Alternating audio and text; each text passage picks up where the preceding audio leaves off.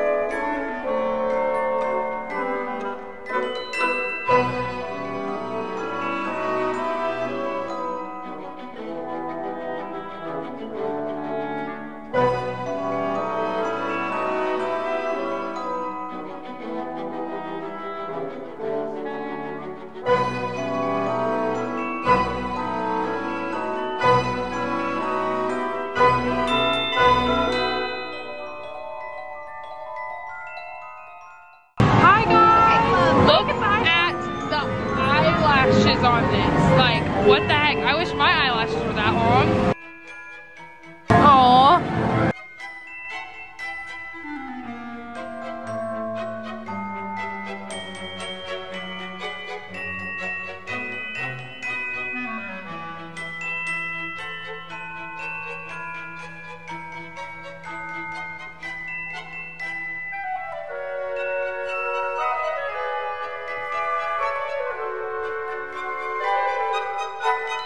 We're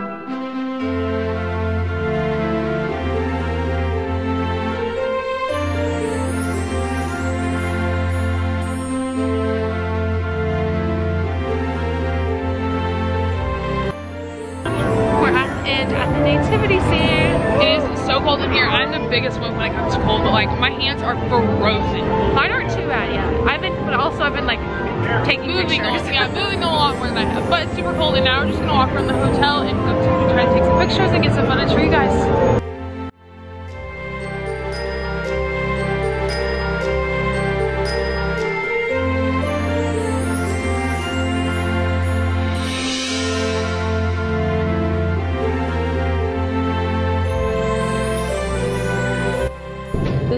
You can go snow tubing.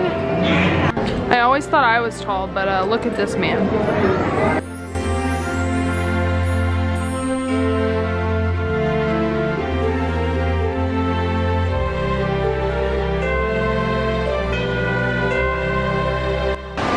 Look at this gingerbread house. It is massive. There's even a little bitty train in presents.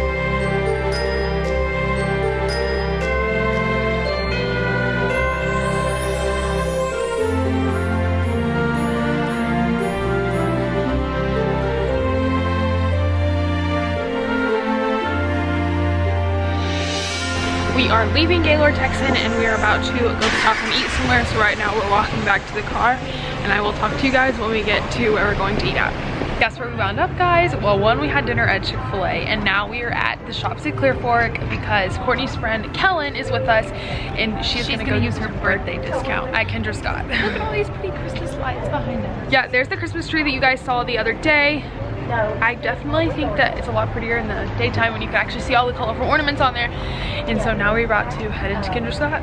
So I hope you guys enjoyed getting to watch us go to Gaylord Texan and go through ice. It was a lot of fun and Rudolph was super cool. There was like a lit up I nose. love the light up. Yeah. Yeah. The nose. That was fun. It was like a button you could press to make the nose light up, which was really, really cool.